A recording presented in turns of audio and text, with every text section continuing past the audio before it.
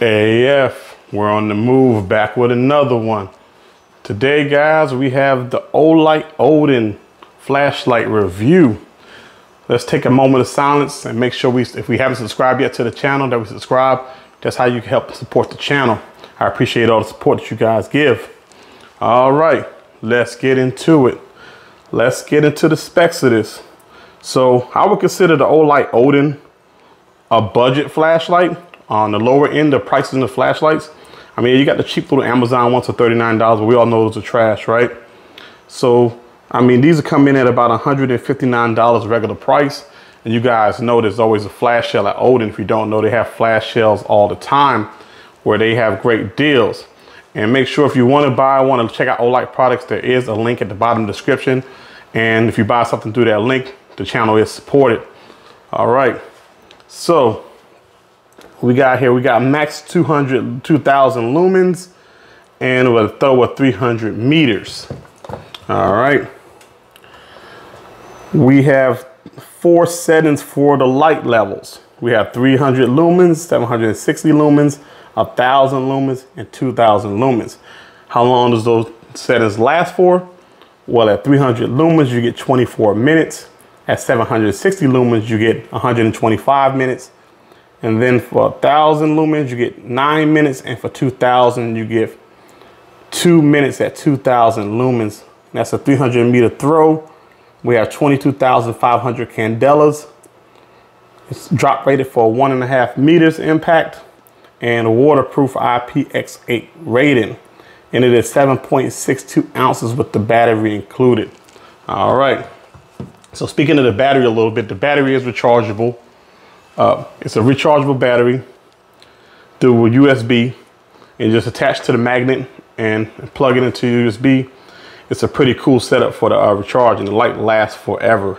I have, I think I've charged this thing maybe once since I've had it. Okay, so it lasts a pretty good time for the battery. All right, so let's get into the actual light. So the one thing I will talk about, my setup is a little bit different than the default out of the box. And what's different about it is that I did change out the flashlight mount. All right. So the cool thing about this mount is that it fits any Surefire Scout mount. And the Surefire Scout mount is a really, really popular, uh, Surefire flashlight is a popular flashlight. So there are many, many third party uh, mounts for it. So this mount, while it is awesome, I will say it's one of the better mounts that comes out with a flashlight. What it does is slides in, you lock it in, you can unlock and take the flashlight off of it. So what you can do if you had it on your light and you want to decide to use the light for something else, take it off your rifle or your pistol, you could take it off and put it back on. The only reason I took it off is because if you look at the space in between, it's, look how tight that is. On here, I now have an Arisaka Defense mount, scout mount. It brings it very close to the gun. You can't get your finger between here. You can get one finger in between here. With this mount on, you can almost get two fingers this way in between. Uh, it's very far away from the gun. Uh, so I didn't like that, so I switched that out. The Arisaka Defense mount is an awesome mount. If you guys want to check it out on their website, they also have it on Amazon, some other places. All right, let's get into the flashlight. One thing I like about this is the, the control for the push button control on the other side. This here comes off pretty easy, magnetic. Same way you charge it, the charging looks kind of like that. I have it somewhere. I didn't bring it down. Lock that in. It will not come off. You can pull this thing all day, it will not come off. Pull it back, unlock it, comes right off. I think in the earlier models, they didn't lock and they had a lot of issues with it coming off, but that issue has been fixed. All right. So other thing I like about this is that the cord is not too long. Um, I guess there are options out there you can use. A lot of people zip tie the cord to the rail. Me personally, um, I run it over the top and it really doesn't get in my way. Uh, so I just haven't zip tied it because I don't like extra stuff on my gun. That's just me. For you, you can run it underneath, something like that, zip tie, whatever you want to do to secure it. But for me, it's not a problem. So here you got the controls on this side.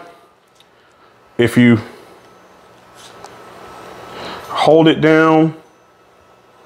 You get a temporary, let it go, tap it, constant. Works pretty good. I like it, haven't had any issues with it. Very easy to install. I bought a little cheap rail off Amazon. I think it was a five, uh, five slot rail, I believe. Five slot rail. Yeah, five slot rail. And you just push it on like that. Pretty easy. I keep cutting my light on here. Uh, before $119, I think this might be the best light on the market for the price point. Um, if you guys got any questions, make sure you leave it in the comments. And next time we'll be back with another one. Until next time, AF, we're on the move. Appreciate all your support. Make sure you go down and check the link.